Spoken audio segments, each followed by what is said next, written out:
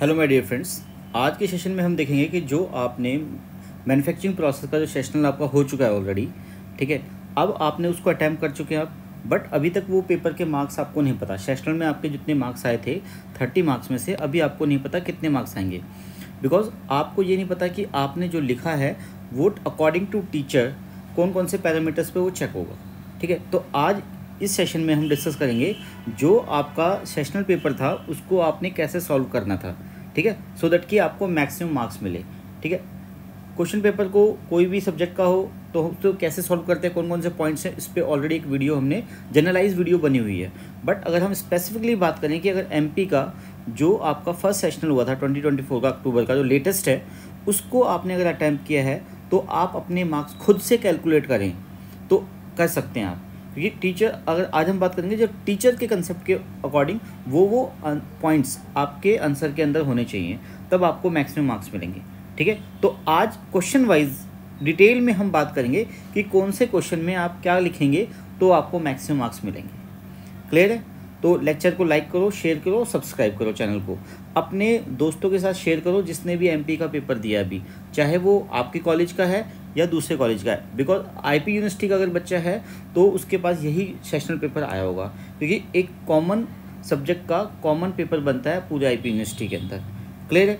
तो आज हम बात करेंगे डिटेल के अंदर एमपी के क्वेश्चन पेपर को आपने कैसे सॉल्व करना था। आप ऑलरेडी कर चुके हैं वेल एंड गुड है best of luck for your marks but अगर आपने वो चीज़ें लिखी हैं, जो हम डिस्कस करने वाले हैं, अगर वो सब चीज़ें आपके आंसर में होंगे तो आपको मैक्सिमम मार्क्स मिलेंगे। या आपके मार्क्स कितने आएँगे, आप एक 99 परसेंट आप आइडिया लगा सकते हैं कि मेरे मार्क्स 19 से 20 के बीच में आएँगे या 21 से 22 के बीच में आएँगे। ठीक है? वो डिस्कस करेंगे आज हम।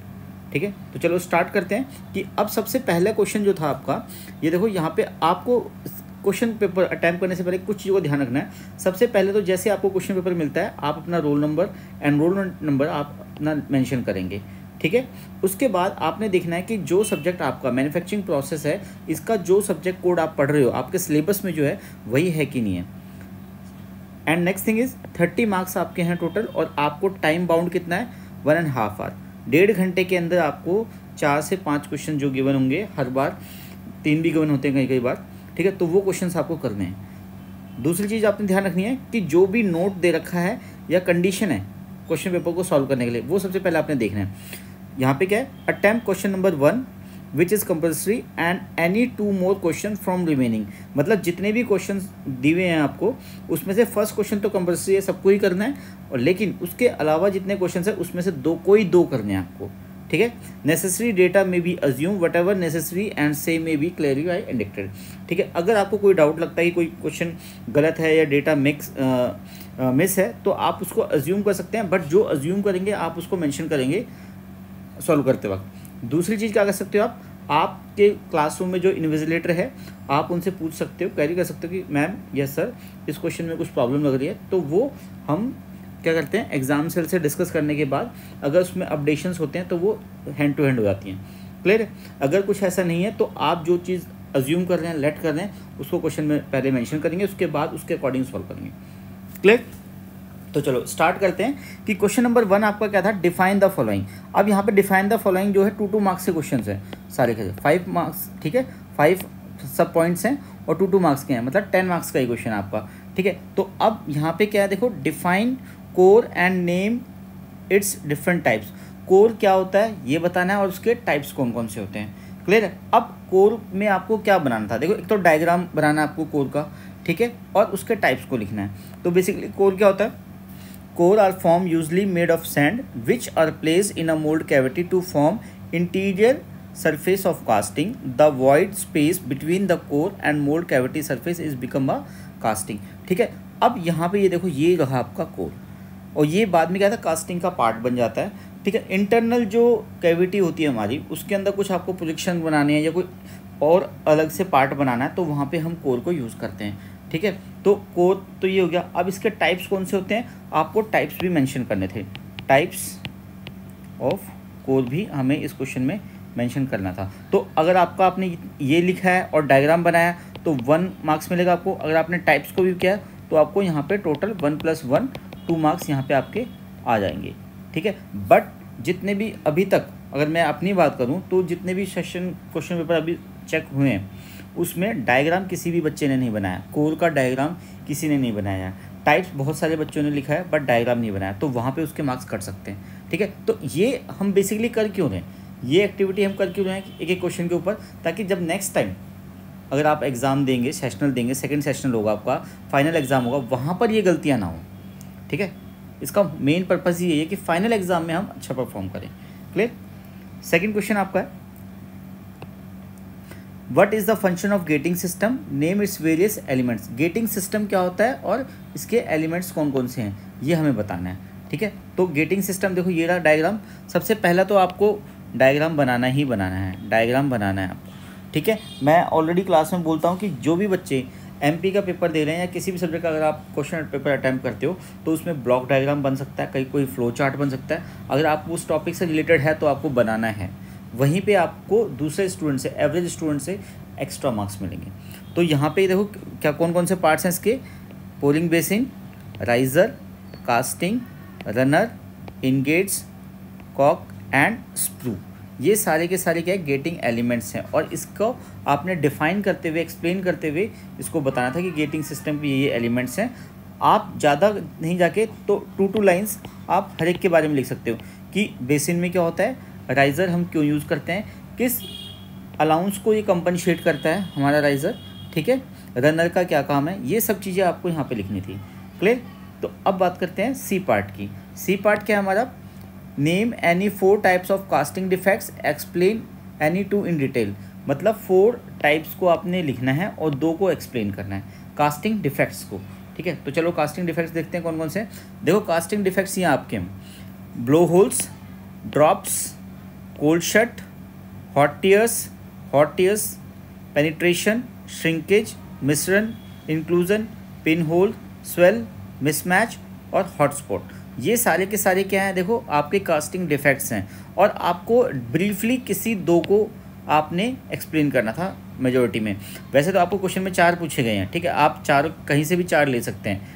ठीक है? बट आपको जितने ज़्यादा पता होंगे, उतना अच्छा आप लिख सकते हो। अभी तो ये टू मार्क्स का क्वेश्चन था। सपोज़ फाइनल एग्ज़ाम के अंदर ये ट्वेल्व मार्क्स का या टेन मार्क्स का क्वेश्चन आता है, जिसमें आपको हर एक को एक्सप्लेन करना और डिटेल में लिखना है। तब इसलिए आप अपनी तैयारी एक अच्छे लेवल की कीजिए। जितने भी टाइप्स होते हैं, सबको पढ़िए, उसके बारे में जानिए। यहाँ पे अभी क्या है रिक्वायरमेंट क्या है? फोर तो हमें नाम नेम्स बताने और किसी टू को एक्सप्लेन करना है डीपली तो ये हो जाएगा आपका कास्टिंग डिफेक्ट्स अगर आप में से इन्होंने, अगर आपने इसके फोर टाइप्स लिखे हैं फोर टाइप्स लिख दिए कास्टिंग के तो आपका वन मार्क्स है। और आपने उसको एक्सप्लेन भी किया है एनी टू को तो आपके वन मार्क्स और हो जाएँगे। क्लियर है? डायग्राम बनाया तो वेल एंड गुड है। ठीक है? ऐसे करेंगे हम। नेक्स्ट क्वेश्चन आपका what is the use of chill and chaplets chill and chaplets क्या होता है? ठीक है? ये बताना है। देखो chill is an object use to promote solidification in a specific portion of a metal casting mould ठीक है? यूनिफॉर्म जो सॉलिडिफिकेशन होता है, उसके लिए चिल्स ज़्यादा, बहुत अच्छे हेल्प करते हैं। ठीक है? यूनिफॉर्मिलिटी मेंटेन करते हैं। There are many cases in the mould in which a core is not adequately supported by its bearing in the sand of the mold. It is practice in these cases to support the core by pieces of metal called chaplets. ठीक है?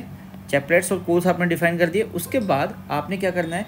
आपने उसके diagram की help से भी आपने बताना है। कि देखो यहाँ पे चिल्स हैं, ठीक है? चैपलेट्स हैं, ठीक है? यहाँ पे इस डायग्राम के अंदर। तो आपको कोई एक डायग्राम बनाना है जिसमें वो चीज़ पिक्चराइज भी हो और आप डिस्क्रिप्शन के अंदर उसको एक्सप्लेन भी करते हैं। तब आपका क्वेश्चन कंप्लीट माना जाता है। अगर आपका कोई भी पार्ट इसमें से लैक कर रहा है तो डेफिनेटली आपके मार्क्स वहाँ पे कट जाएँगे। क्लियर इसके नेक्स्ट जो ई e पार्ट है, उसमें पूछा कि एज प्रिपरेशन क्या होता है? देखो एज प्रिपरेशन मैं ऑलरेडी अपनी जो पीडीएफ है जो हम जनरलाइज जो हमारे एमपी के जो स्लाइड्स हैं, उसमें बता चुका हूँ कि एज प्रिपरेशन क्या होता है। जब भी हम वेल्डिंग करते हैं टू पीसेस को, जब भी टू पीसेस को आप वेल्ड करोगे तो उससे पहले उसको क्या करते हैं प्रिपेयर करते हैं वेल्डिंग करने के लिए। उसमें क्या करेंगे, उसको क्लीन करेंगे, पूरा वायर ब्रश वगैरह, जो भी डस्ट पार्टिकल्स हैं रस्ट वगैरह, उसको निकाल देंगे। उसके बाद जो एजेस होते हैं, उसको हम शेप देते हैं सो दैट कि मैक्सिमाइज कॉन्टैक्ट बन पाए।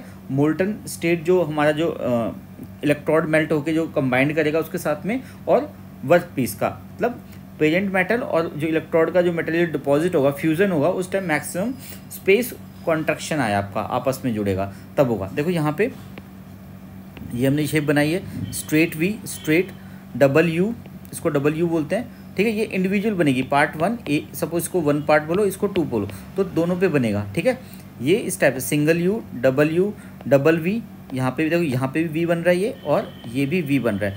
अगर इस तरीके से आपने इसको एज प्रिपरेशन को किया, पहले तो एक्सप्लेन करना है, उसके बाद में अगर आपने कोई भी टू या थ्री टाइप्स को अगर आपने एक्सप्लेन कर दिया डायग्राम से विद हेल्प ऑफ़ डायग्राम तो आपको मैक्सिमम मार्क्स मिलेंगे। मतलब वहाँ पर टू मार्क्स आपके पूरे हो जाएँगे। अगर एक भी पार्ट अगर आपने छोड़ दिया तो वहाँ पर मार्क्स कटने के चांसेस हैं।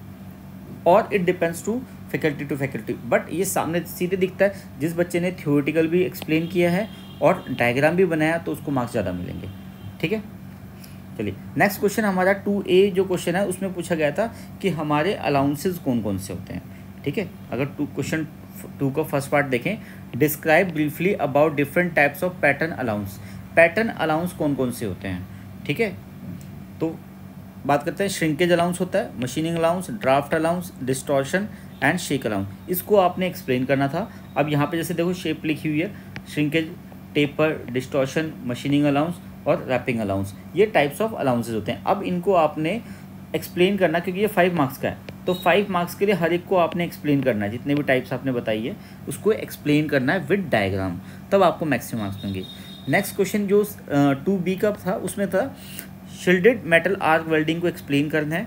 ठीक है? अब देखो, यहाँ पे देखो, ये रहा वर्क पीस ये वर्क पीस हमारा अर्थिंग के साथ में इलेक्ट्रॉड के साथ में हमारा, देखो, ये दोनों कनेक्ट हैं। इलेक्ट्रॉड और वर्क पीस दोनों कनेक्ट हैं। जब भी आप इसको टच करोगे इसके साथ में, ठीक है? फिर क्या करेगा, हमारा स्पार्क प्रोड्यूस होगा और जो मेल्ट होना स्टार्ट हो जाएगी, हमारी इलेक्ट्रॉड और डिपॉजिट होगी, ठीक है? ऊपर हमारा क्या होता है स्लैग लेयर बनती है और ये सॉलिडिफाई आपका जॉइंट बन जाता है। वेल्ड पुल बोलते हैं, इस जोन को, इस जोन को वेल्ड पुल बोलते हैं, जहाँ पे वर्क पीस और इलेक्ट्रोड का मटेरियल डिपॉजिट होकर जॉइंट बनाता है, ठीक है? इलेक्ट्रोड के ऊपर कोटिंग होती है, ठीक है? ये बेस कोटिंग होती है स्लैग की, और ये आर्क आपका प्रोड्यूस हो गया। प्रोटेक्टिंग गैस किस लिए होती है आपका? ऑक्सीडेशन से बचाता है। ऑक्सीडेशन से ये हमारा बचाता है। क्लियर है? तो ये अगर आप डायग्राम बनाते हैं और जिस तरीके से मैंने आपको बताया, उस तरीके से आप सिस्टमेटिक फॉर्म के अंदर एक्सप्लेन करते हैं, तब आपको यहाँ पे मार्क्स पूरे मिलेंगे। क्लियर क्वेश्चन थर्ड का फ़र्स्ट पार्ट था explain the construction working and principle of cupola furnace ठीक है? उसमें आपको डायग्राम बनाना है। डायग्राम के अंदर क्या करना है आपको? वर्किंग डोर बनाना है चार्जिंग डोर बनाना है कोक, आयरन, लेमस्टोन, जहाँ जहाँ पे कौन कौन कौन सी चीज़ होती है, ठीक है, वो सारे एलिमेंट्स को आपने प्लेस करना है, ठीक है, ट्रायल्स और रिफेक्टिव लाइंस, ये आपको डायग्राम बनाना आप डायग्राम ये वाला बना सकते हो, और आपकी बुक में ये वाला डायग्राम दे रखा होगा, ठीक है, ये ज़्यादा सिस्टमेटिक है, इसमें आपने देखो, जहाँ पे भी सैंड लेयर्स हैं आपका, ट्रॉयल्स हैं, coke flux metal coke plus metal तो इस तरीके से हमारा ये डायग्राम बनेगा पूरा का पूरा, फिर आपने किस जोन में कौन सी एक्टिविटी हो रही है, कौन सा रिएक्शन हो रहा है? ठीक है? रिएक्शंस आपने लिखने हैं, ठीक है? और एक्टिविटी कहाँ पे क्या बन रहा है, वो लिखना है आपने, ठीक है? और वर्किंग कैसे करेगा, वो आपने एक्सप्लेन करनी है कपोला फर्नेस की, ठीक है? तो आपने कंस्ट्रक्शन भी बनाना है पूरा, ठीक है? कंस्ट्रक्शन एक्सप्लेन करना है प्रिंसिपल का कहाँ पे हमें क्या चीज़ मिलेगी, वो करना है। तो इस तरीके से अगर आप डायग्राम बनाते हैं एक्सप्लेन करते हैं तो आपको मार्क्स पूरे मिलेंगे इस क्वेश्चन में। क्वेश्चन नंबर थर्ड का जो बी पार्ट है, उसमें पूछा गया है what is the difference between A C and D C welding A C D C welding के अंदर आप टेबुलर फॉर्म के अंदर भी कर सकते हो। ए सी इधर लिख दो और डी सी वेल्डिंग ठीक है? इसके अंदर आप इस तरीके से भी आप एक्सप्लेन कर सकते हो, ठीक है? दोनों के क्या गुड पॉइंट हैं, क्या बैड पॉइंट हैं, ठीक है? कौन सा किस मेटल के लिए अच्छा है, किस मेटल का अच्छा नहीं है? तो उस तरीके से आप एसी और डीसी वेल्डिंग को एक्सप्लेन करेंगे, ठीक है? एप्लीकेशन कहाँ है हम आपकी? एसी की एप्लीकेशन किस किस जगह पे है? डीसी की कहाँ पे है, ठीक है? AC welding is a type of welding that works by using electrical current that alternates between flowing in one direction and then reverse direction में many per second this alternate current generate an electric arc with fluctuating intensity between electrode and work piece क्योंकि work piece और electrode आपका दोनों connected होते हैं battery से या आपका इलेक्ट्रिसिटी से। The heat from arc welding arc melts the metal allowing to be deposit ठीक है? हो जाएगी welding DC welding is a type of welding that use direct current to create an electric arc between welding electrode and the metal being welded the electric current flows in one direction from the negative electrode to the positive metal work piece this creates a concentrated heat source that melts the metal and fuse it together तो इस तरीके से अगर आप करेंगे तो आपको यहाँ पे मार्क्स पूरे मिलेंगे। चाहे आप टेबल फॉर्म में करो बट कोशिश करे करो, जब भी डिफरेंस पूछे जाए तो आप टेबुलर फॉर्म के अंदर करें। क्लियर है? फोर्थ पॉइंट था आपका फोर्थ क्वेश्चन जो था फाइव मार्क्स के लिए, इसमें था शेल मोल्डिंग प्रोसेस क्या होता है? ठीक है? आप देखो शेल मोल्डिंग को समझने की कोशिश करना, ये आपका पैटर्न है। ठीक है?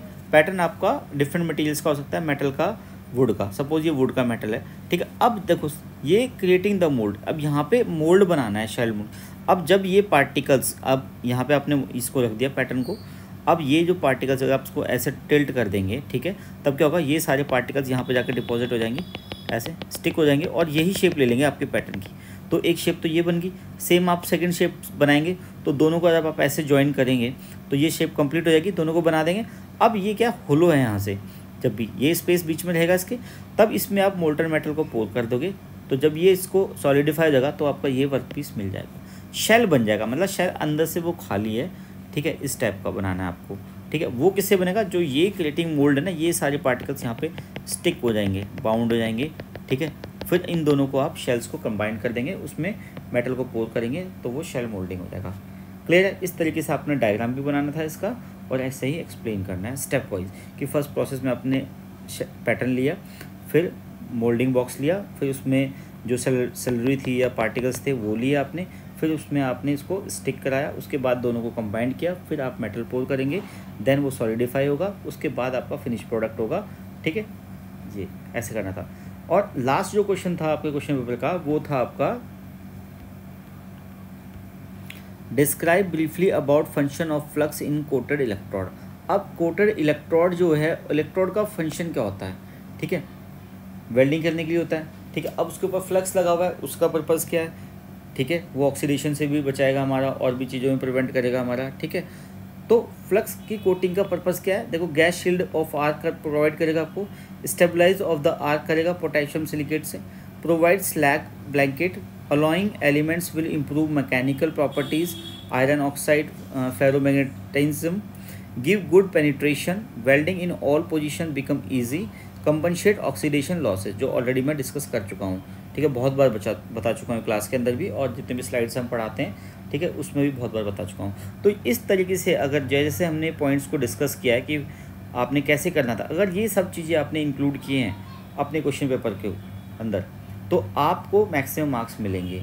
अगर फिर भी आपको कोई डाउट है कि सर मैंने ऐसे किया था तो मेरे को यहाँ पे इतने मार्क्स मिल सकते हैं तो आप वो कमेंट बॉक्स में पूछ सकते हैं। ठीक है? तो हम उसको डिस्कस करके हम बता देंगे कि कितने मार्क्स आपके आने चाहिए, अगर आपने किस तरीके से पेपर किया है। तो ये था आज के पेपर का क्रक्स कि आपको कैसे पेपर को अटैम्प्ट करना था। अब मेन पर्पज़ मैं ऑलरेडी बता चुका हूँ कि इसका क्या है कि हमें फाइनल जो एग्ज़ाम होगा, उसमें अच्छे तरीके से करना है। इस तरीके से जैसे हमने अभी डिस्कस किया ना कि इस क्वेश्चन में क्या होना चाहिए। इस तरीके से अगर आप करोगे तो डेफिनेटली आपके मार्क्स अच्छे आएँगे। ठीक है? तो आई होप आपको क्लियर हो गया है कि हमें पेपर कैसे अटैम्प करना था। अगर किसी ने उन्नीस बीस किया है, ऊपर नीचे किसी ने कोई कोई पॉइंट रह गया तो कोई दिक्कत नहीं है। हम इम्प्रूव करेंगे, क्योंकि ये लर्निंग प्रोसेस है इम्प्रूवमेंट की जगह हमेशा रहती है, ठीक है? और मेन पर्पज़ हमारा फाइनल से है तो हम वहाँ पे इम्प्रूव कर लेंगे, ठीक है? बट अगर फिर भी आपको कोई भी डाउट आता है कि किसी भी पेपर को किस तरीके से अटैम्प करना है, क्या स्ट्रेटजी हम अपनाएँ, आपके पास टाइम नहीं बचता है टाइम मैनेजमेंट नहीं कर पाते आप तो आप उसके लिए कमेंट बॉक्स में बता सकते हो। और जो स्टूडेंट्स को मैं अवेलेबल हूँ कॉलेज के अंदर तो वो मुझसे पर्सनली भी मिल सकते हैं। ठीक है? चलो best of luck take care good luck